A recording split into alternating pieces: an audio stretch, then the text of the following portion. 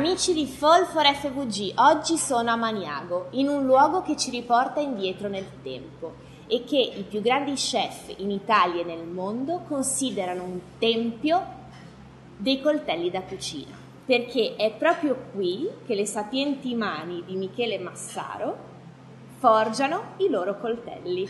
Buongiorno Michele. Ciao Erika. Dunque, puoi raccontarmi che cosa ti ha spinto a rilevare questo battiferro e perché?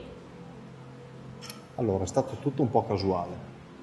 Poi il motivo in gran parte lo dice, lo dice ciò che stiamo vedendo, cioè il fascino del luogo mi ha fatto innamorare del, di quello che avrebbe potuto essere il mio futuro lavoro e così unendo quello che era un po' un, un hobby fino a quel momento, perché Maniago tutti i ragazzi della mia generazione che l'hanno voluto sono un po' vicino a quello che è il mondo delle officine dove si produceva coltelli, unendo un po' questo hobby questo interesse a quello che avrebbe potuto essere il mio futuro, ho rilevato il battiferro e ho iniziato pian piano a dedicarmi prima alla produzione eh, degli attrezzi tradizionali, che è quello che si realizzava qui, quindi roncole, asce, coltellacci. Poi questi sono rimasti una piccola parte del mio lavoro e mi sono sempre di più dedicato a quella che era la mia passione, ossia la cucina. Puoi raccontarmi qualcosa di, proprio del, del battiferro? Nel senso, la struttura risale al... che periodo? Allora, guarda, la struttura eh, si divide in tre volumi di diverse epoche. Quella dove siamo ora è la parte più vecchia. Ora non so dirti se sia del 400 piuttosto che del 700 o del 600. Comunque questa era una delle strutture produttive del conte di Maniago, è stata proprio di sua proprietà, l'ha realizzata lui. Successivamente, nel fine 800, 900, l'ha acquistata la famiglia che per lui diciamo, portava avanti l'attività di produzione di, di manufatti, che era la famiglia Beltrame, nel 60 è stata venduta ai fratelli Narduzzi e poi sono arrivato io. Una bellissima storia, quindi possiamo forse dire che risale addirittura al XV secolo. Potrebbe essere. Potrebbe essere. Non lo so, non ho mai, non ho mai approfondito la ricerca. Comunque l'ha costruita il conte, il conte che è la persona che nel XV secolo chiese la concessione al magistrato delle acque per per poter realizzare le armi per l'esercito della Serenissima mm-hmm. e quindi iniziò per motivi, per motivi puramente commerciali sì. quella che, che, è diventata la tradizione di un paese. E, ehm, che cosa rende così unici i tuoi coltelli? Allora, sarebbe bene chiederlo ai, a, li, a quelli che sono i miei clienti, ma soprattutto quelli che sono questi illustri personaggi del mondo della cucina che hanno scelto di, di lavorare con me. E penso li renda unici proprio il fatto che i miei più importanti maestri non sono i coltellinai, ma tante persone che mi hanno aiutato a sviluppare quella che è la funzionalità del coltello.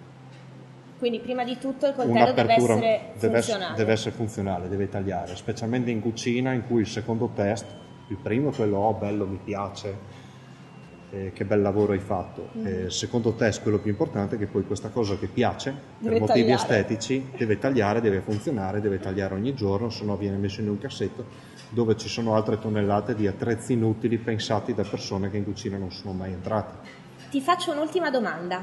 Se dico che un tuo coltello è un'opera d'arte, tu cosa mi rispondi? Allora, questa è una domanda che spesso mi fa arrabbiare. Eh, l'arte non ha nulla a che vedere con l'artigianato.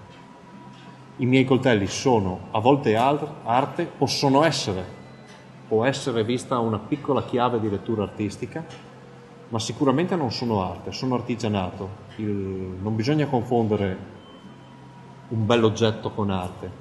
L'arte è una forma di comunicazione, eh, il resto è manualità, che non deve, come spesso succede, sfociare in un esercizio di stile sulle capacità manuali dell'artigiano. Eh, spesso questo infatti porta alla violenza che viene fatta sull'oggetto, nella fattispecie siamo arrivati al punto in cui i coltelli non sono più strumenti da taglio, non tagliano più, ma sono suppellettili per prendere la polvere. E... Però in qualche modo credo che sì. i tuoi coltelli in... richiamino forse quello che è la tradizione proprio nata qui a Maniago. Allora, sono... C'è un modo sì. per riconoscerli? Sicuramente c'è un modo per riconoscerli. Sono coltelli miei perché ho preso quella che era la tradizione di forgere il mio paese e l'ho resa attuale e contemporanea con la cucina di ora. Quindi è nato un prodotto nuovo che non esisteva prima ho lasciato una parte comunicativa che è il Brut de Forge, che non è un comune Brut de Forge, ma sono i segni non del martello sull'incudine, non di un maglio qualsiasi, ma sono i segni del maglio del mio paese valorizzati dal tipo di finitura che do al coltello. Quindi comunica da dove vengono, la tradizione del paese e io ho messo in mano questo ai più importanti chef itali- ora italiani che sono anche i più importanti al mondo. Quindi potuto, quindi c'è un aspetto comunicativo artistico in tutto questo. Quello che non deve essere inteso come arte è l'oggetto in sé come manualità, realizzazione, finiture. Eh, quella non è arte, quella è artigianato. È diverso un artigiano da un designer, mm-hmm. a un artista. Perfetto, allora io ti ringrazio. Grazie a voi. Io adesso ho paura a finire l'intervista che magari utilizziamo i coltelli in una maniera diversa. Mm, no, fa... ho un'idea più interessante per chiudere bene. l'intervista. Salutiamo gli amici. E poi vado torna indietro. Sì, tu non lo fare, arriva fino alla fine e stop, perché se fai questo movimento qui e se non lo fai in controtempo... Mi parte. Sì, succede un casino, ecco, che meglio non succeda. Pronta? Sì. Vai.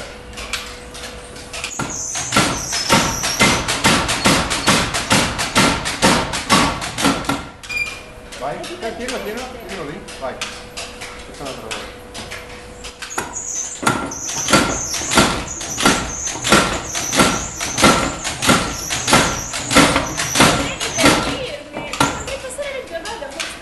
Devi, come si dice, quando senti l'ultimo colpo, in controtempo vai dentro. Proviamo? Sì, l'ultimo perché poi sennò ti fai male perché è troppo caldo, cioè è troppo freddo. Yeah.